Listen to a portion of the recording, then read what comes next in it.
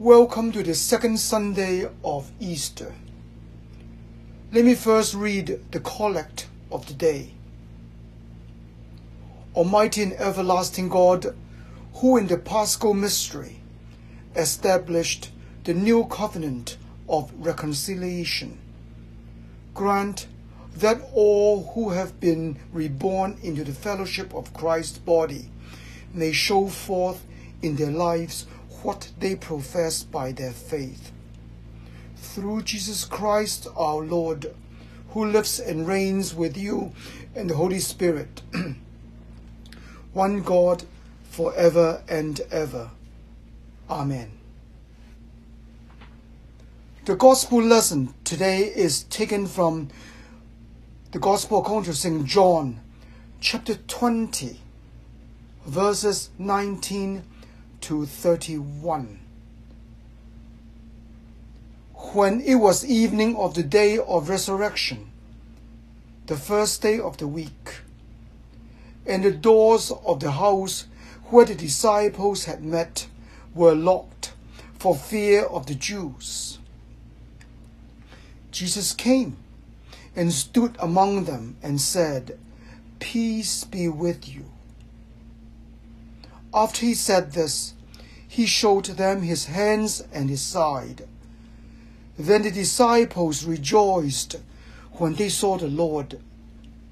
Jesus said to them again, Peace be with you. As the Father has sent me, so I send you. When he had said this, he breathed on them and said to them, Receive the Holy Spirit. If you forgive the sins of any, they are forgiven them. If you retain the sins of any, they are retained. But Thomas, who was called the twin, one of the twelve, was not with them when Jesus came. So the other disciples told him, We have seen the Lord. But he said to them, Unless I see the mark of the nails in his hands, and put my finger in the mark of the nails and my hand in his side, I will not believe.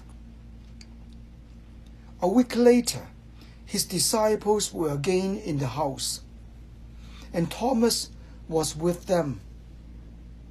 Although the doors were shut, Jesus came and stood among them and said, Peace be with you. Then he said to Thomas, Put your finger here and see my hands. Reach out your hand and put it in my side. Do not doubt, but believe. Thomas answered him, My Lord and my God. Jesus said to him, Have you believed because you have seen me? Blessed are those who have not seen and yet have come to believe. Now Jesus did many other signs in the presence of the disciples, which are not written in this book. But these are written so that you may come to believe that Jesus is the Messiah, the Son of God, and that through believing you may have life in his name. Peace be with you. This was the message Jesus gave to his disciples after his resurrection. Today, we need this message all the more. In my daily prayers, one thing I ask for the most is peace. Look around us. Look how we all have been affected by the pandemic during this past year. Some of us more so than others. As to rub salt into the wounds, we also see the recent escalation of anti-Asian crime and violence. Many elderly and female Asians have been the victims. We are indeed living in fear and anxiety. On top of it, Other tragic incidents also happen around us. I read that recently a young man pushed a child off the fourth floor in a shopping mall. The child was severely injured and had been hospitalized since. The perpetrator was caught later. When asked why he committed such a crime, his response was, I felt like killing somebody that morning. When I couldn't find an adult, I pushed the child instead off the fourth floor. News like this certainly adds on to the pressure and tension we are, uh, we are already experiencing.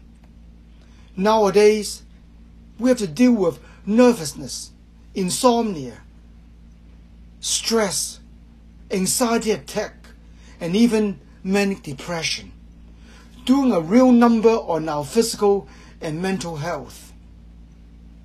Here are three points I would like to share with you. First, deal with life, life's anxiety with a positive attitude. Take things easy. Not all pressures in life have to be negative.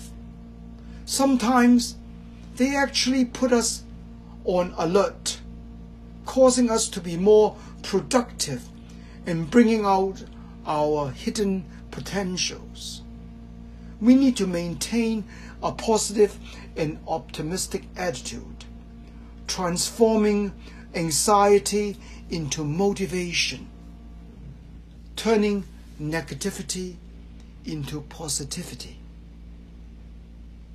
Second, use physical exercise to reduce pressure. Exercise is always good for the body anyway. When we exercise, we need to focus our minds. No wandering around all over the place. Release the tension in our body and mind. If you're not the kind to go to the gym, you can walk 10 to 20 minutes every day to relax yourself. I myself do some breathing exercise whenever I feel anxiety building up. I would fill up my lungs and diaphragm with fresh air and then breathe out slowly. This seems to be an easier way to reduce tension. Third, be willing to speak about the burden. Talk about it. You need to share the burden by talking to some people you can trust. Verbalize it and vent it, even if this doesn't present a solution. At least you let it out from your chest. Keeping everything to yourself is not exactly healthy anyway. Piling pressure on your on yourself can only cause you psychological problems. Different times in history have different issues and concerns. During the time of Jesus, it was a time of political strife and religious persecution. We can see how scared and freaked out the disciples were after Jesus was crucified on the cross. They were not sure if what they believed in would maintain its truth. Meanwhile, they were also terrified of the political and religious forces caving in.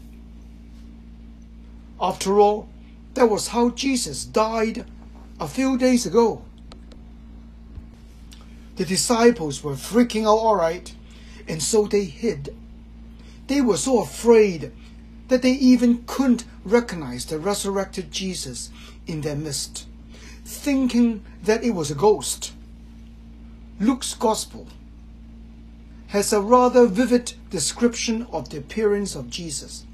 It reads, They were startled and terrified and thought that they were seeing a ghost. Jesus said to them, Why are you frightened? And why do doubts arise in your hearts? You see, when we are under stress and pressure, we very well may lose our faith, replacing it with doubts and more doubts. It was important for the disciples to witness Jesus appearing amongst them uh, after the resurrection. It fortified the disciples in their belief in the gospel because Jesus took the pressure, took the stress of those who believed in him. To us, generations later, this is one powerful witness. Jesus' resurrection and appearance made a huge difference in the political and religious scenes of the time, resulting in the gospel being spread from Jerusalem to all corners of the earth. This was the command of Jesus before he ascended to heaven. He commanded his disciples to bring the gospels to everywhere on earth and that repentance and forgiveness of sins are to be proclaimed in Jesus' name to all nations, beginning from Jerusalem. We can sum up Jesus' appearing to the disciples in five points. One, life in a fellowship. Two, peace be with you. Three, Upon seeing Jesus, the disciples were overjoyed. Fourth, to be commissioned. Five, to receive the power from the Holy Spirit. We face stress and, and anxiety in our daily life every day. Too often, we rely on our own human efforts to deal with the problems resulting in nothing but fear and dread, which at times are more than what we can bear. It is only through our trusting in Jesus and His power that we can find assurance. But, but, you need to let Jesus into your heart in the first place. Accept Him as your resurrected Lord and accept the power of the Holy Spirit in order for life's stress and anxiety to be relieved. The Lord is risen indeed. Peace be with you. Amen.